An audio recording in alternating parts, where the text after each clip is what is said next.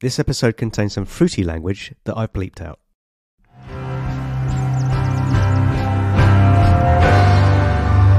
Comedy. Can people laugh about the climate and ecological crisis? What is the role of comedy in educating people about sustainable transport and renewable energy?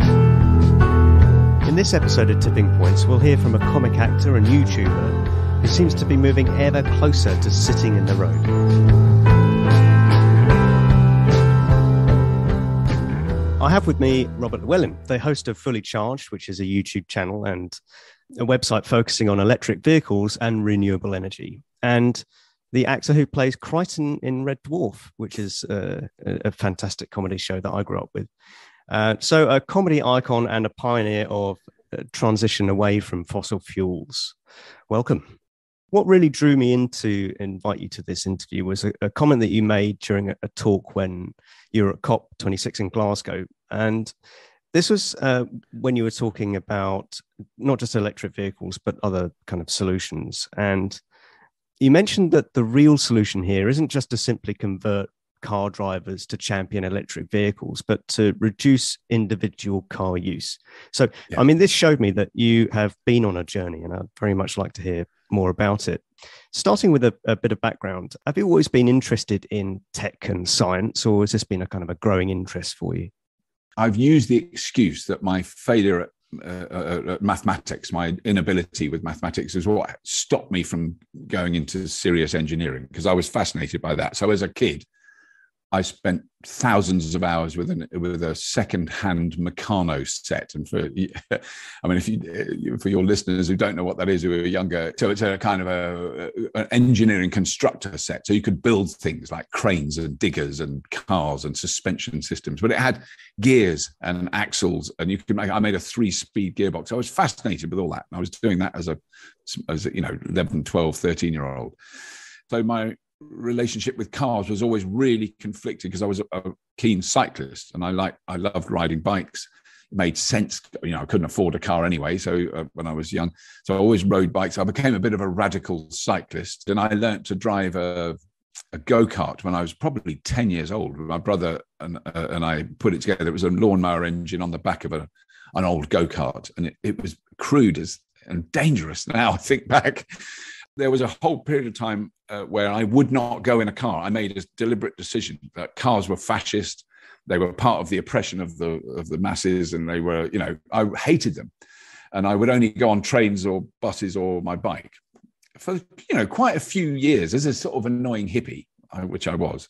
I stayed in a commune, a proper hippie commune in the Welsh mountains in the early 70s when I was very young.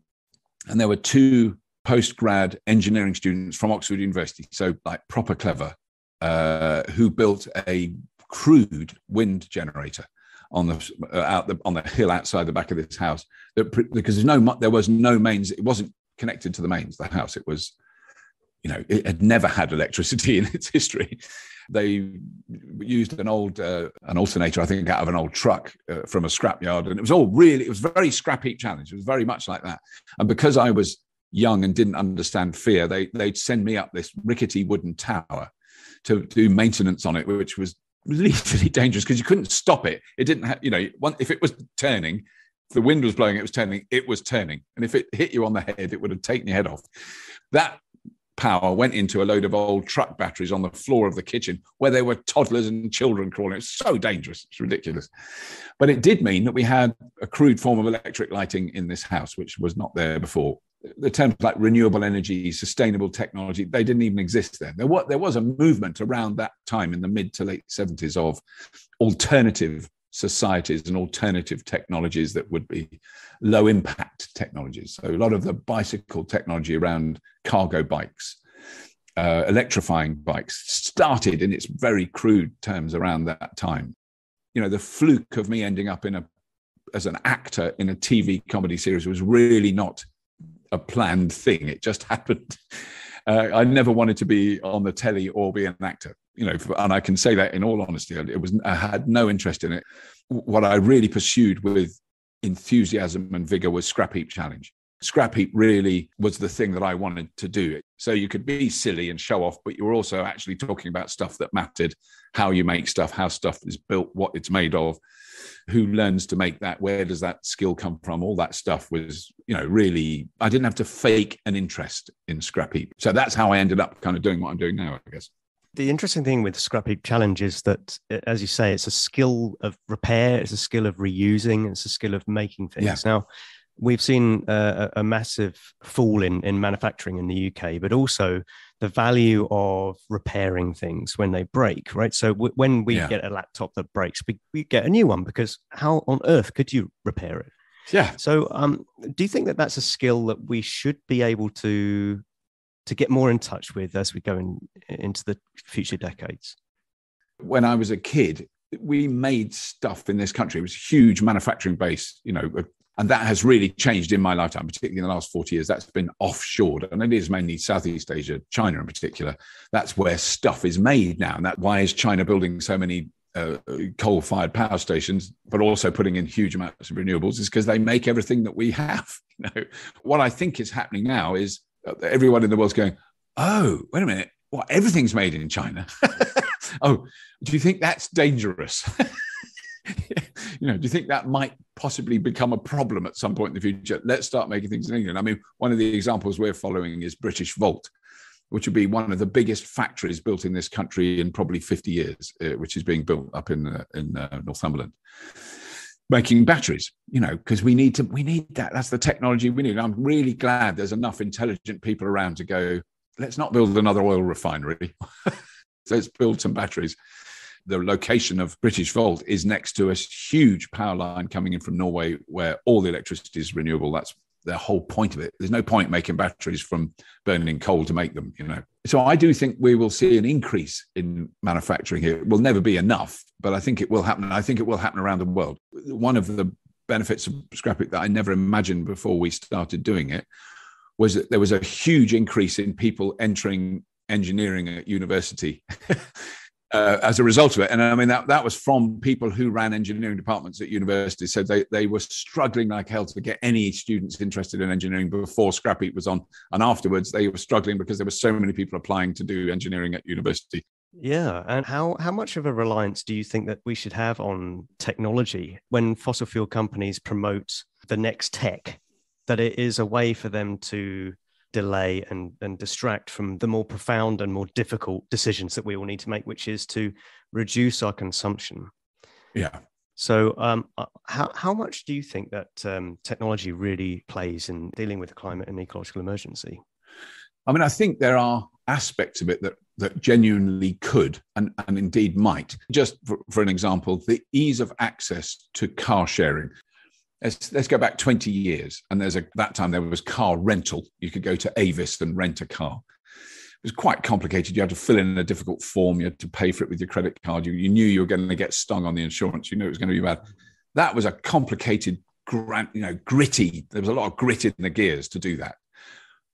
I've just seen, and we're doing a show about it very soon, uh, a scheme in Utrecht in the Netherlands, just electric cars, that all the people that use it say, oh, this is better this is a better experience than owning a car. It's hugely cheaper. And not only because of the fuel, but because of the necessity to look after that car for the 90% of the time you own it when you don't use it, which is always parked on driveways, right? Yeah, exactly. And that, that is my argument is that it's an un, it doesn't matter what powers the car. At the end of the day, you know, still better to have an electric car, but what what what what it doesn't matter what powers the car. It's a ridiculous, unsustainable habit that we've got into of owning cars. So there, technology actually helps to make that transition, which a lot of people are going to find either impossible or very uh, painful. They're not going to want to do it. And, and when you do need a car, it's really cool if you're in a car sharing scheme that has uh, 60 Tesla Model 3s and and 500 Ioniq 5s. Yeah, I think and, that car sharing is a hundreds, like six, seven hundred Renault Zoes. You know, you can, and they're uh, all over the city, and they've all got a parking space because they have res- regulated parking spaces with a charger. In what we eat.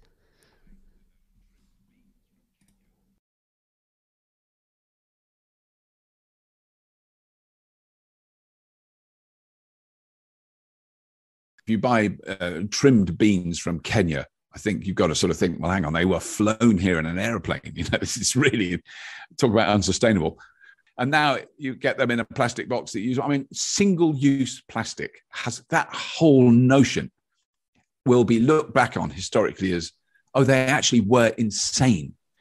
Yeah, uh, with single use plastics, I think it's one of those things that is in the common consciousness of people, but only because it's the one thing that they have to deal with. Yeah.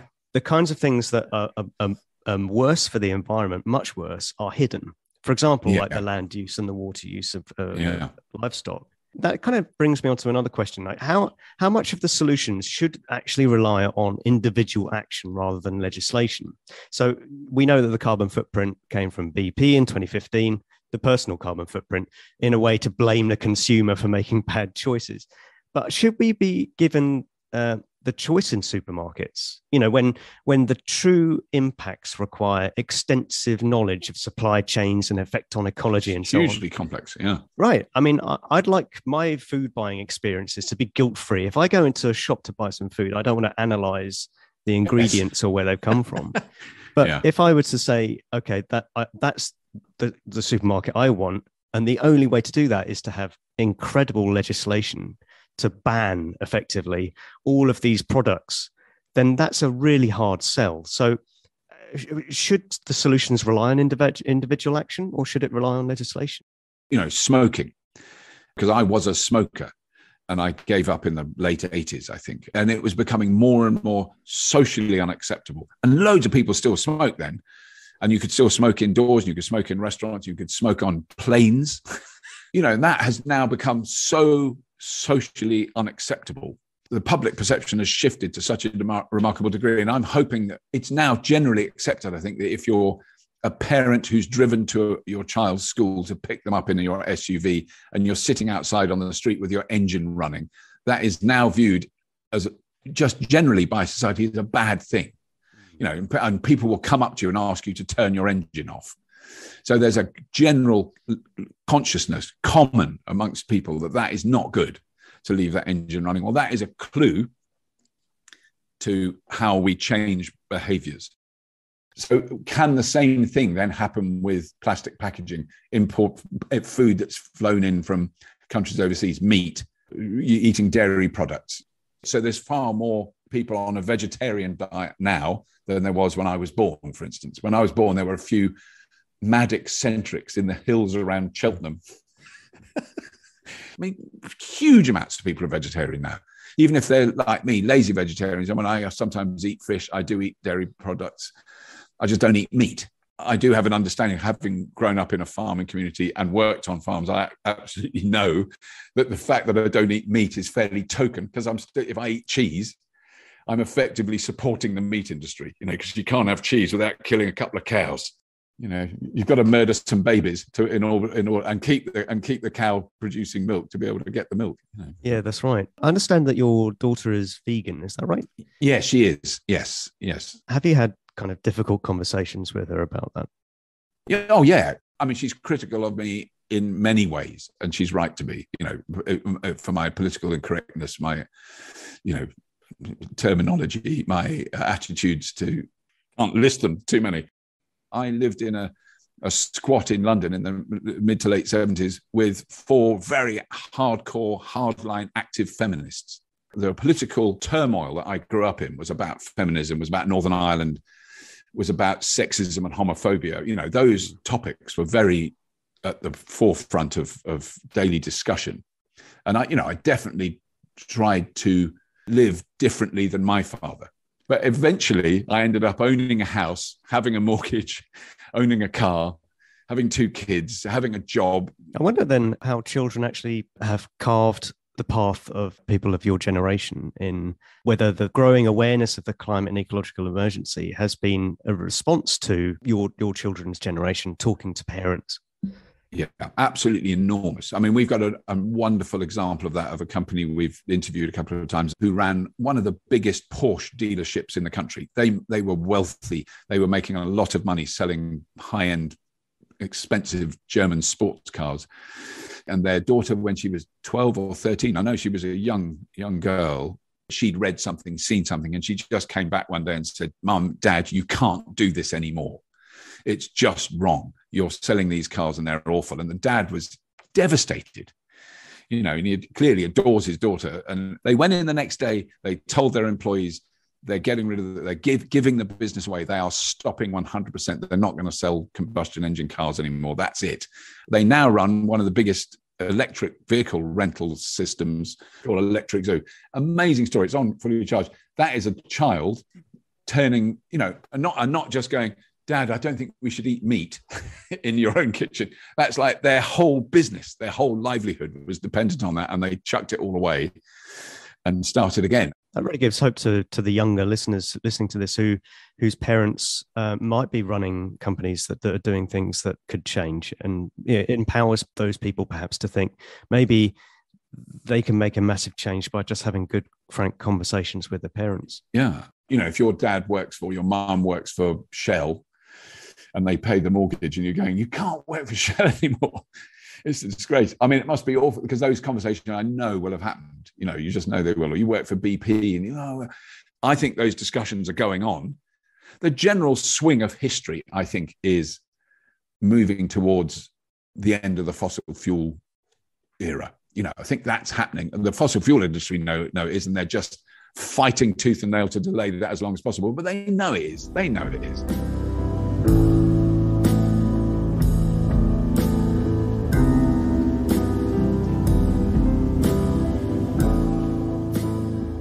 More to come in a second, but I'd like to say at this point that I'll be recording interviews on the topics the police, the media, education, and air travel from the start of February. So if you have any questions about the role of these topics in addressing the climate and ecological crisis, or to give feedback on the podcast, please email tippingpoints, all one word, at imperial.ac.uk. You can find the privacy policy at the Imperial College Grantham Institute website. Now, moving on to changing behaviour through comedy, that's one of the, the, the big drivers that really gets people on board. Is if you yeah. make them laugh, they'll they'll be much more willing to listen to what you've got yes. to say. So, um, what uh, what is the role of comedy moving forward? It's really I because this is an area I've had considerable experience in, specifically using comedy to try and communicate about kind of social change and, and attitudinal change.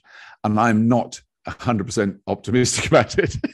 so, in, uh, for a, a, chunk of the 1980s, sort of late 70s to early 80s, I was, I was in a, a comedy theatre group that became phenomenally popular. We were very successful, that were primarily about the male response to feminism, the male attitudes to sexism, to homophobia. But in the long term, you know, when they, when you think there are now documentaries about rape culture in the UK that makes me think that all that time and effort we spent trying to do stuff about a positive response to equality, to not being sexist, was a total waste of time. And that, so that is heart, kind of heartbreaking. Those stories are always blown out of proportion by the press, and that's just the way that, that, that the press operates but I think that exists. Well, this is interesting, right? Because this uh, conversation about why racism exists when you know the people, you don't have these crazy views, but it's only when you have this kind of fear of the other. We can see in the press at the moment the discussions about immigration uh, with with people crossing the channel, and rather than the conversation being about let's embrace humans that happen to be from somewhere else because they're in a war torn, terrible situation the conversation it hasn't matured like that. But I wonder if, if if comedy can help the conversation move forward. I mean, I think it can. I think it can, and I mean, I think it certainly in terms of racism. I think the fact that there are Nish Kumar, Phil Wang, you know, the fact that those people have become quite uh, successful as comedians. But I mean, I think you're right that, that you can counter that, and I think it probably does help.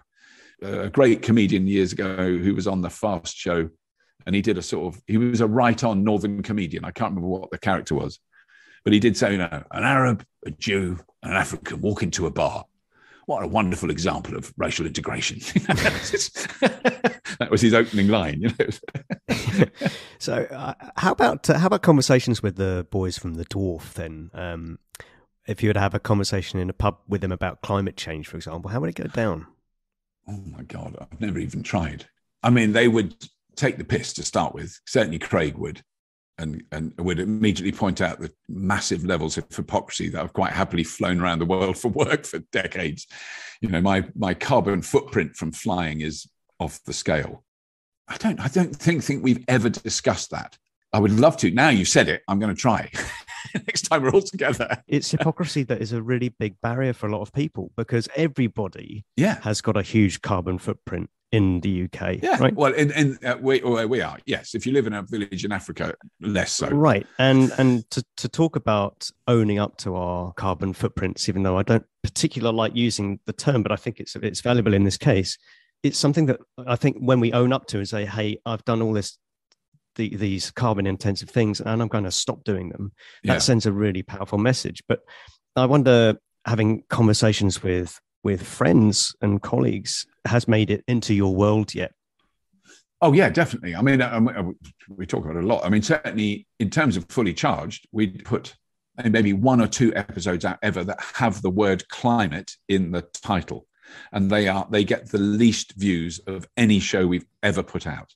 I'm slightly baffled by it because I sort of think, oh well, it's our audience. They're kind of aware of it. So the audience that would bother to watch fully charged have probably internally, even if not vocally, acknowledge that there is such a thing as climate change, that it does exist, and that human activity is the cause of it. So then they see something about climate. Oh God, I don't know about that. So they don't watch it. And actually, interestingly, the one episode we put out recently, which is during COP, which had the word climate in the title, it's getting more views now. It's kind of building. It's but initially it was the lowest views we've ever had. Like in the first 24 hours, that's when you sort of judge if something's hit or not. That's interesting. And I, yeah, I wonder if that's an audience reaction to something that they just don't want to engage with, but out of fear and out of. Um, It's, it might be out of fear, but it might also be out of exhaustion from hectoring. You know, the reaction of my generation to the likes of Greta Thunberg is, oh God, I don't want to be told by a bloody know 16, 17 year old about how bad I am. And you go, well, you know, I know you don't, but she's right. she might be annoying, but she's right. The fact that she's upset Jeremy Clarkson has raised her in my estimation by a thousand degrees. he's had a hor- you know he's had a horrible snip at her in his demented, bigoted old git that he is. how how would uh, how would Kryten explain climate change to Lister? Well, it would be it would be historic, wouldn't it? But that's the thing by then. So that's three million years in the future is when Red Dwarf is happening. And Lister would have been appalled. I think that would be the you know Kryten would just explain it in purely you know unemotional factual terms. Is that human activity caused the, the climate on the Earth to change, and it was a real problem for humanity until we stopped doing it, and then it got it, it, it stabilized, and we survived another million years before you know the meet, the big meteorite hit and wiped. You know, but I mean, I think it would be in those terms. It wouldn't be an emotive issue for Kryten, but it would be for Lister. Lister would be you know, because he like he's aware like human beings are scum, man. Really, basically, at the end of the day, you know, it's going to be all that stuff. Moving on to protest and, and Extinction Rebellion. So I, I'd like to know what you think about the actions of XR and, and Insulate Britain as well in responding to the emergency of the situation. Yeah, probably conflicted, but essentially supportive. My toes curl with the awfulness of the press response. So I'm using the word press very consciously, not the media. Because I don't think there is a the media, but I think there is still the press, which is the, the newspapers, which basically not many people under my age buy. I don't buy newspapers. I haven't bought a newspaper in 20 years, but pe- I have to acknowledge some people still do. And the people that write them, particularly the Daily Mail being that, you know, that's the biggest selling thing, have an have a voice and an influence on British society. So their reaction to things like Extinction Rebellion and Insulate Britain will be 100% negative and utterly wrong as well, completely the wrong end of every stick. Yes. so in terms of generalized sympathy for the Daily Mail, zero. For Extinction Rebellion, quite high. But the one thing that when they had the demonstration in Oxford Circus, was that 2019? And then Emma Thompson flew in from Los Angeles and went there to support them. You know, so she, from her absolute individual point of view, she feels passionately about that and she wanted to support them. And she knew that she would be able to get publicity because of who she is to support them. It backfired horribly. You know, she'd just flown around the world, you know, and I don't think she flies economy. I'm just going to say that. It's so easy to immediately demolish those arguments because of that you know the rampant scale of self worth and, and, hypocrisy on the on the part of celebrities. And I've talked to people in the Green Party who wanted me to be a kind of public figure in support of the Green Party, and I just you don't you don't want a celebrity anywhere near you. Just avoid them like the plague. You know, I'm an absolute worst yeah, yeah. person that could be involved in uh, an environmental political party because of the work I've done has all been a huge amount of it has involved travel. I've filmed overseas an enormous amount. This goes back to the part about hypocrisy being the hurdle. I remember speaking to my uncle about how sad and depressed I was about climate change. But then uh, he said, Well, you know, you've flown to 60 countries, haven't you? I just thought, oh, sod off. Because it's not about that. I feel that shame of having done those things, but I did it without being aware of the problems. But now I am. It would be hypocritical for me to go and do all these things. Yes, yes, that, I think that's a, I think that's very true. I agree with you, and it is, and it's also the absolute joy that the reactionary extreme right, who will absolutely dance on the fact that some trendy lefty that they would accuse me of being is is a hypocrite. And i think it's really important to to shrug that off. I think you're right to do that to go yeah so what? Because you are a massively you don't even care. You just shit on people and laugh in their face. You're the bastard still. I'm a twit but you are a vicious vicious nasty human being you dirty little shitter. i think and i wouldn't say that to them but that would be the subtext Sorry, it's a bit of a rude torrent there. that even if I am a hypocrite, my hypocrisy is gentler. It's full of more love. It's full of more empathy and understanding of other people's situations around the world. Yeah, absolutely. And and and where the the press and social media have been responsible for a lot of this division, uh, capitalizing on emotional outrage rather than providing opportunities for the discussion. I can see how greed in this case has created forges in society.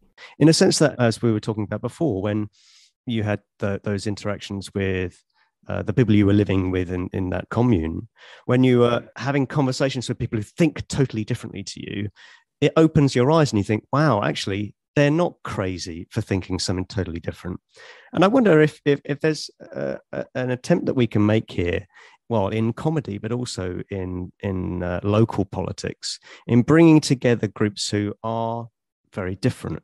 People how how could a local council bring together someone who lives in in their own house with someone who lives in a council flat? How can those conversations happen?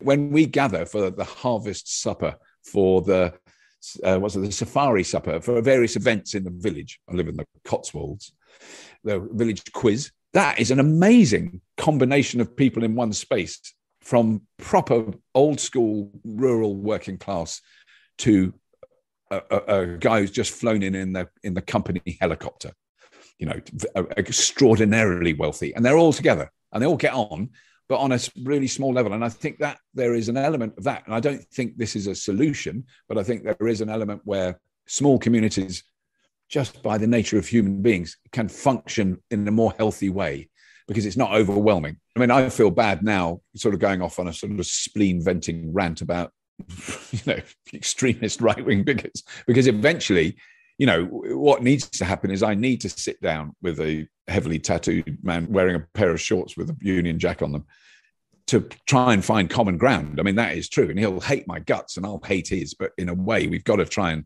we have to live together I don't want to live in a bubble. You know, that's I've struggled all my life not to live in a bubble, which is in a way would be my critique, if you like, of Extinction Rebellion and and Insulate Britain because it's you know I want to support them and I think they're right. I think they I absolutely support what they're doing, and I think they should stop the traffic and I think they should annoy people and it should be you know, a, bloke who wants to get to work and he can't get to work. Well, just think for a moment why they tried to stop you getting to work. How are you getting to work? You're getting to work in a metal box that weighs one and a half tons and burns fossil fuel. Just think about that for a moment and carry on now, because now you can drive into work. They're not doing it today, but just plant that seed. And they've planted that seed. And there's going to be loads of people who will never respond positively to that. But there's going to be some that go, well, you know, they got a point. What would it take for you to sit in the road and get arrested for protest? I mean, you know, in some ways, I feel I should do it now. You know, there's no, you know, I do feel very strongly that that you know the world needs to stop burning fossil fuel. I've kind of stopped doing demos, and I don't really know why. It could be that I'm basically a closet Tory. I don't think it is. I now find the Tory party is so repugnant, uh, what it's become. You know, there's been periods in my life where I've tried to be benign about people who have slightly different views to me, but Priti Patel, it's very hard to love her. I've noticed that a, a, really common theme among uh, uh, throughout our whole discussion has been about the flow of conversation. It's about the conversation between your your children and you, between you and your neighbours, between between politicians. Like the flow of conversation seems to have featured in a lot of our points, and that's really encouraging. And I hope that the conversations that uh, you have, even with um, you know the red the red dwarf yes. crew we, we, might even look forward to an, the next episode of red dwarf that confronts climate change i think it, i think you're absolutely right it, it, and it is listening as well is equally important and i'm a terrible talker but i have in my latter years learned to listen and that's very much down to my, the intervention of my, my wife who's an amazing woman who tells me every now and then to shut up and with that well, that was a fascinating talk. And uh, th- thank you very much, Robert Llewellyn, for a, a wonderful conversation. Well, thank you for having me. Thank you.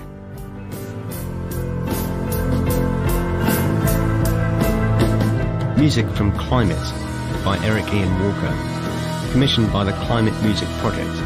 We communicate the sense of urgency of the climate and ecological crises through the emotional power of music.